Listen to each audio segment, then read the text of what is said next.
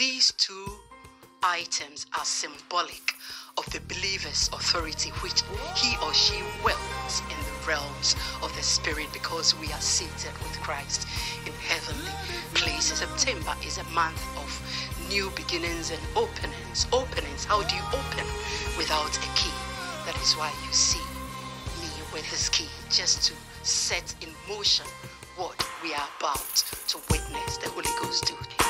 Gird yourself, prepare. We are entering into a special time. The Diana Adu Royal Global Ministries and Missions Online Prayer Camp Service presents Open Doors with Lady Apostle Diana Adu. Streaming live from 8 p.m. to 9 p.m.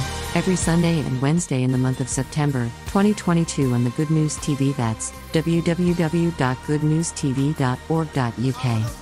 On Facebook slash the Diana Adu Royal Global Ministries and Missions, and on YouTube slash the Diana Adu Ministries and Missions Official. Open Doors with Lady Apostle Diana Adu.